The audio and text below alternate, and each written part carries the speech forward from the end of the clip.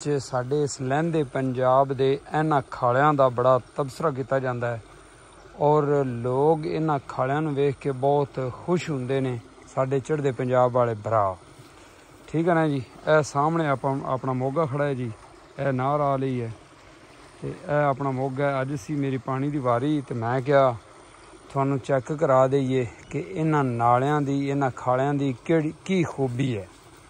ਇਸ ਤੋਂ ਪਹਿਲੇ ਜਿਹੜੇ ਖਾਲੇ ਹੁੰਦੇ ਸੀ, ਉਹ ਇੱਟਾਂ ਦੇ ਹੁੰਦੇ ਸੀ। ਇੱਟਾਂ ਨਾਲ 4 ਇੰਚੀ ਜਾਂ 9 ਇੰਚੀ ਦੀਵਾਰ ਬਣਾ ਕੇ ਤੇ ਪੱਕੇ ਖਾਲੇ ਬਣਦੇ ਸੀ। ਲੇਕਿਨ ਉਹਨਾਂ ਖਾਲਿਆਂ ਦਾ ਨੁਕਸਾਨ ਇਹ ਹੁੰਦਾ ਸੀ, ਉਹ ਕਿਹੜੀ ਜਗ੍ਹਾ ਤੇ ਖਾਲਾ ਉੱਚਾ ਆ ਜਾਂਦਾ ਸੀ ਨਾ, ਤੇ ਥੱਲੇ ਵਾਲੀ ਜ਼ਮੀਨ ਵੱਲੇ ਉਹਦੇ ਵਿੱਚੋਂ ਸ- ਤਕਰੀਬਨ ਸਾਲ ਬਾਅਦ ਜਿਹੜਾ ਨਾ ਸੋਰੇ ਪੈਣੇ ਸ਼ੁਰੂ ਹੋ ਜਾਂਦੇ ਸੀ। ਨਵਾਂ ਨਾਲਾ ਜਿਹੜਾ ਨਾ ਖਾਲਾ ਉਹ ਜਨਾਬ ਸਾਲ ਬਾਅਦ ਸੁਰਨਾ ਸ਼ੁਰੂ ਹੋ ਜਾਂਦਾ ਸੀ, ਸੀਮਿੰਟ ਦਾ ਉਖੜ ਜਾਂਦਾ ਸੀ ਤੇ ਇੱਟਾਂ ਦੇ ਵਿੱਚ ਸੋਰੇ ਖੁੱਡਾਂ ਪੈਣ ਲੱਗ ਪੈਂਦੀਆਂ ਸੀ।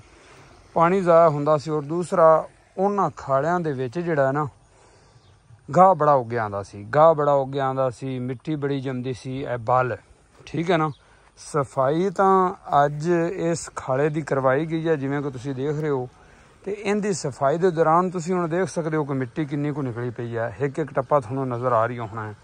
ਬਿਲਕੁਲ ਇਹਦੇ ਵਿੱਚ ਨਾਂ ਦੀ ਵੀ ਮਿੱਟੀ ਨਹੀਂ ਰਹਿੰਦੀ। ਇਹਦੇ ਵਿੱਚ ਜਿਹੜੀ ਬਲ ਆਂਦੀ ਹੈ, ਜਿੰਨੀ ਕੋ ਬਾਲਾ ਆਂਦੀ ਉਹ ਅੱਗੇ ਖੇਤਾਂ ਵਿੱਚ ਜਾਂਦੀ ਹੈ, ਇਸ ਨਾਲੇ ਦੇ ਵਿੱਚ ਟਿਕਦੀ ਨਹੀਂ ਹੈਗੀ। ਇਹ ਹੈਗੇ ਬਲਾਕ ਵਾਲੇ ਖਾਲੇ, ਠੀਕ ਹੈ ਨਾ ਜੀ? ਬਲਾਕ ਬਣੇ ਬਣਾਏ ਆਂਦੇ ਆ ਜੀ ਟਰਾਲਿਆਂ ਤੇ। ਤੇ ਲੈਵਲ ਕਰਕੇ ਜਿੰਨਾ ਬੰਦ ਖਾਲਾ ਬਣਾਉਣਾ ਹੁੰਦਾ ਲੈਵਲ ਬਣ ਕਰਕੇ, ਔਰ ਇਹਦਾ ਲੈਵਲ ਇੰਜ ਰੱਖਿਆ ਜਾਂਦਾ ਹੈ ਕਿ ਐਦੂ ਮੋਗੇ ਵੱਲੋਂ ਇਹ ਖਾਲਾ ਉੱਚਾ ਹੈ।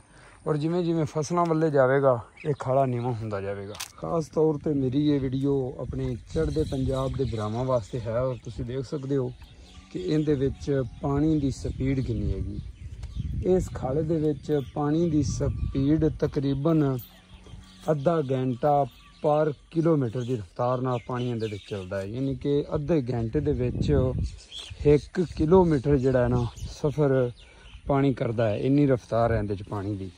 ਅਗਰ ਇਹਦੇ ਵਿੱਚ ਜਿੰਨੀ ਰਫ਼ਤਾਰ ਨਾਲ ਪਾਣੀ ਚੱਲ ਰਹੀ ਹੈ ਨਾ, ਅਗਰ ਇਸ ਜਗ੍ਹਾ ਤੇ ਇੱਟ ਸੱਟ ਹੈ ਨਾ, ਇੱਟ ਰੋੜਾ, ਤੇ ਉਹ ਜਨਾਬ ਤੁਹਾਡੇ ਉਸ ਨਾਕੇ ਤੇ ਪਹੁੰਚਣ ਤੋਂ ਪਹਿਲੇ ਇੱਟ ਉੱਥੇ ਪਹੁੰਚ ਜਾਏਗੀ। ਯਾਨੀ ਕਿ ਇਹਦੀ ਇੰਨੀ ਸਫ਼ਾਈ ਹੈ, ਇਹਦੇ ਵਿੱਚ ਜਿਹੜਾ ਗੰਦ ਬੂਟੀ ਗਾਹ ਗੁਆ ਨਾ, ਉਹ ਬਿਲਕੁਲ ਨਹੀਂ ਉਗਦਾ ਹੈਗਾ, ਥੱਲੇ ਤੱਕ। ਗੰਦ ਵੀ ਨਹੀਂ ਉਗਦਾ, ਗਾਹ ਵੀ ਨਹੀਂ ਉਗਦਾ, ਔਰ ਬਲ ਵੀ ਜਿਹੜੀ ਹੈ, ਉਹ ਵੀ ਬਹੁਤ ਘਾਟੀ ਇਕੱਠੀ ਹੁੰਦੀ ਹੈ। ਠੀਕ ਹੈ ਨਾ? ਬਕਾਇਆ ਇਹਦਾ ਟੁੱਟਣ ਦਾ ਕੋਈ ਖਤਰਾ ਨਹੀਂ ਹੁੰਦਾ, ਇਹਦਾ ਲੀਕ ਹੋਣ ਦਾ ਖਤਰਾ ਨਹੀਂ ਹੁੰਦਾ। ਬਲਾਕ ਇਵੇਂ ਦੇ ਬਣੇ ਹੁੰਦੇ ਨੇ, ਇੱਕ ਦੂਏ ਦੇ ਵਿੱਚ ਬਲਾਕ ਫਸਦੇ ਜਾਂਦੇ ਨੇ ਤੇ ਜੋੜ ਜਿਹੜੇ ਨੇ ਉਹ ਟੀਕ ਹੁੰਦੇ ਜਾਂਦੇ ਨੇ। ਹੁਣ ਇਹ ਦੇਖੋ, ਇਸ ਜਗ੍ਹਾ ਤੋਂ ਇਹ ਪਾਣੀ ਹੁਣ ਮੇਰੀ ਤਰਫ ਜਾ ਰਹੀ ਹੈ, ਇਹ ਆਪਣੀ ਮੱਕੀ ਹੈ, ਜਿਹਨੂੰ ਪਾਣੀ ਲੱਗਾ ਹੋਇਆ। ਹੈ ਕੁਛ ਇੱਕ ਏਕੜ ਮੱਕੀ ਦਾ ਅੱਗੇ ਹੈਗਾ ਸੀ ਥੋੜਾ ਜਿਹਾ ਪਾਣੀ ਮੈਂ ਉਹਦੇ ਵੀ ਛੱਡਾ ਹੋਇਆ। ਇਹ ਜਿਹੜਾ ਖਾਲਾ ਹੈ ਨਾ, ਇਹ ਤਕਰੀਬਨ 3 ਕਿਲੋਮੀਟਰ ਤੇ ਜਾ ਰਹੀ ਹੈ। 3 ਕਿਲੋਮੀਟਰ ਲੰਬਾ ਇਹ ਖਾਲਾ ਹੈ। ਔਰ ਤੁਸੀਂ ਇਸ ਜਗ੍ਹਾ ਤੋਂ ਦੇਖ ਸਕਦੇ ਹੋ ਹੁਣ ਖਾਲੇ ਦੀ ਸਫ਼ਾਈ, ਠੀਕ ਹੈ ਨਾ? ਇਹ ਤੁਸੀਂ ਇਹਦੀ ਅੱਜ ਬਲ ਸਫ਼ਾਈ ਹੋਈ ਹੈ। ਤਕਰੀਬਨ ਕੋਈ 3 ਸਾਲ ਬਾਅਦ, ਔਰ ਜਿਹੜਾ ਉਹ ਵਾਲਾ ਸਾਡਾ ਖਾਲਾ ਹੈ ਨਾ, ਇਹਦੀ ਤੁਸੀਂ ਸੂਰਤ ਹਾਲ ਦੇਖ ਸਕਦੇ ਹੋ। ਇਹ ਜਦੋਂ ਦਾ ਬਣਿਆ ਉਦੋਂ ਦੀ ਇੱਕ ਦਫਾ ਵੀ ਇਹਦੀ ਸਫ਼ਾਈ ਨਹੀਂ ਹੋਈ। ਇਹਦੀ ਲੈਂਥ ਤਕਰੀਬਨ 1.5 ਕਿਲੋਮੀਟਰ ਹੈ। ਇਸ ਖਾਲੇ ਦੀ ਉੱਥੋਂ ਜਾ ਕੇ ਇੰਜ ਨੂੰ ਹੋ ਜਾਂਦਾ ਹੈ। ਤੇ ਇਹਨੂੰ 4 ਤੋਂ 5 ਸਾਲ ਹੋ ਗਏ ਨੇ, ਇਸ ਖਾਲੇ ਦੀ ਇੱਕ ਦਫਾ ਵੀ ਸਫ਼ਾਈ ਸਾਨੂੰ ਨਹੀਂ ਕਰਨੀ ਪਈ। ਔਰ ਤੁਸੀਂ ਪਾਣੀ ਦੇਖ ਸਕਦੇ ਹੋ, ਕਿੰਨੀ ਸਪੀਡ ਨਾਲ ਇੱਥੋਂ ਸਾਡੇ ਵੱਲੇ ਜਾ ਰਹੀ ਹੈ। ਇਸ ਤਰ੍ਹਾਂ ਇਹਦੇ ਵਿੱਚ ਜਿਹੜੀ ਬਲ ਵਗੈਰਾ ਹੁੰਦੀ ਹੈ ਨਾ, ਉਹ ਸਾਰੀ ਖੇਤ ਦੇ ਵਿੱਚ ਹੀ ਜਾਂਦੀ ਹੈ, ਰਸਤੇ ਦੇ ਵਿੱਚ ਨਹੀਂ ਰੁਕਦੀ ਹੁੰਦੀ। ਤੇ ਇਹ ਤਕਰੀਬਨ 2.5 ਫੁੱਟ ਦਾ ਬਲਾਕ ਹੁੰਦਾ ਹੈ, ਇਹ ਤੇ ਤੁਹਾਨੂੰ ਦਿਖਾਣਾ ਇਹ ਦੇਖੋ, ਇਹ ਜੋੜ ਖੜੇ ਆ ਤੇ ਜੋੜ ਐਵੇਂ ਬਣੇ ਹੁੰਦੇ ਨੇ, ਬਲਾਕ ਦੇ ਵਿੱਚ ਬਲਾਕ ਜੁੜਦਾ ਜਾਂਦਾ ਹੈ। ਲੈਵਲ ਕਰਕੇ ਤੇ ਖਾਲਾ ਬਣਦਾ ਜਾਂਦਾ ਹੈ। ਕੋਈ ਜ਼ਿਆਦਾ ਮਿਹਨਤ ਵੀ ਇਹਦੇ ਵਿੱਚ ਦਰਕਾਰ ਨਹੀਂ ਹੈਗੀ। ਕੋਈ ਜ਼ਿਆਦਾ ਖਪੇ ਨਹੀਂ ਹੈਗਾ। ਜੋੜ ਦੇ ਵਿੱਚ ਜੋੜ ਲੱਗਦਾ ਜਾਂਦਾ ਹੈ ਤੇ ਉਸ ਤੋਂ ਬਾਅਦ ਇਹਦੇ ਵਿੱਚ ਸੀਮੈਂਟ ਭਰ ਲਿੱਤਾ ਜਾਂਦਾ ਹੈ। ਤੇ ਇਹ ਖਾਲੇ ਜਿਹੜੇ ਆ ਨਾ, ਇਹ ਬੜੇ ਜ਼ਬਰਦਸਤ ਹੈਗੇ ਆ।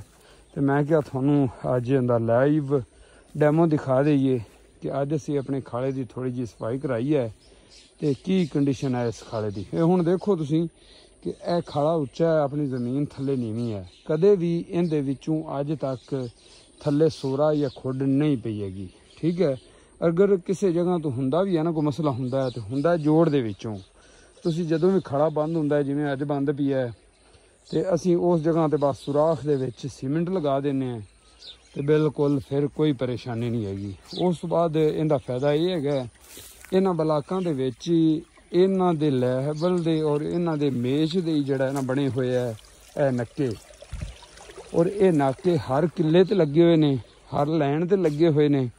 ਅਸੀਂ ਬਸ ਜਿਹੜਾ ਨਾ ਨਾਕੇ ਦਿੰਦੇ ਜਾਂਦੇ ਆ। ਹੁਣ ਜਿਵੇਂ ਤੁਸੀਂ ਦੇਖਿਆ ਕਿ ਪਿਛਾਂ ਮੇਰਾ ਮੋਟਰਸਾਈਕਲ ਖੜਾ ਹੋਇਆ ਮੈਂ ਮੋਟਰਸਾਈਕਲ ਤੇ ਆਂਦਾ ਤੇ ਲਓ ਜੀ, ਇਸ ਤਰੀਕੇ ਨਾਕੇ ਰੱਖਦਾ ਜਾਣਾ ਠੀਕ ਹੈ ਤੇ ਪਾਣੀ ਆਪਣੇ ਖੇਤਾਂ ਵੱਲੇ ਲੈ ਜਾਂਦਾ। ਹੈ।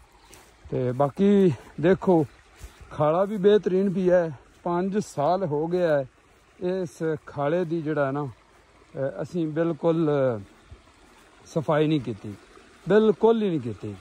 ਔਰ ਦੇਖ ਲਓ, ਨਾ ਕੋਈ ਗੰਦ, ਨਾ ਕੋਈ ਬਾਲ। ਠੀਕ ਹੈ ਨਾ, ਇਹ ਵੇਖੋ, ਨੱਕ ਲੱਗੇ ਹੋਇਆ ਅੱਗੋਂ ਇਹ ਖੜਾ ਇੰਜਨ ਹੋ ਗਿਆ, ਅੱਗੇ ਸੜਕ ਦੇ ਨਾਲ ਨਾਲ ਹੈਗਾ। ਮੋਟਰਸਾਈਕਲ ਦੀ ਚੱਕਰ ਲਗਾਣਾ ਹੈ। ਉਹ ਅਗਲੀਆਂ ਗੱਲਾਂ ਹੀ ਨਹੀਂ ਰਹਿ ਗਈਆਂ ਕਿ ਅੱਠੇ ਟਾਈਮ ਕਈ ਮੋਢੇ ਤੇ ਹੋਵੇਗੀ। ਤੇ ਜਨਾਬ ਮੇਰੀ ਕਦੇ ਉੱਥੋਂ ਟੁੱਟ ਗਿਆ, ਕਦੇ ਉੱਥੋਂ ਟੁੱਟ ਗਿਆ। ਤੇ ਮੈਂ ਕਿਹਾ, ਅੱਜ ਆਦੇ ਭਰਾਵਾਂ ਨੂੰ ਵਿਖਾਈਏ ਕਿ ਚੜ੍ਹਦੇ ਪੰਜਾਬ ਵਿੱਚ ਸਾਡੇ ਖਾਲਿਆਂ ਦੇ ਬੜੇ ਤਸ ਤਬਸਰੇ ਹੁੰਦੇ ਨੇ, ਤਖਸਰੇ ਹੁੰਦੇ ਨੇ। ਤੇ ਖਾਲੇ ਇਸ ਨੂੰ ਬੜਾ ਅੱਛਾ ਸਮਝਿਆ ਜਾਂਦਾ ਹੈ ਤੇ ਵਾਕਿਆ ਅੱਛਾ ਹੈ ਵੀ। ਦੇਖੋ ਹੁਣ ਤੁਸੀਂ। ਤੇ ਬੜੇ ਅੱਛੇ ਖਾਲੇ ਆ ਜੀ। ਤੇ ਅਗਰ ਤੁਹਾਨੂੰ ਪੰਜਾਬ ਵਾਲਿਆਂ ਨੂੰ ਪਸੰਦ ਆਏ ਨੇ, ਤੇ ਕਮੈਂਟ ਸੈਕਸ਼ਨ ਵਿੱਚ ਜ਼ਰੂਰ ਦੱਸਣਾ ਹੈ। ਕਿ ਤੁਹਾਨੂੰ ਇਹ ਸਾਡੇ ਖਾਲੇ ਕਿੱਦਾਂ ਦੇ ਲੱਗੇ ਨੇ? ਤੇ ਤੁਸੀਂ ਵੀ ਅਗਰ ਜਿਹੜਾ ਹੈ ਨਾ ਐਵੇਂ ਦੇ ਖਾਲੇ ਬਣਾਉਣਾ ਚਾਹੋ ਤੇ ਐਡੇ ਔਖੇ ਕੋਈ ਨਹੀਂ ਹੈਗੇ ਆ, ਬਣਾ ਸਕਦੇ ਹੋ ਤੁਸੀਂ।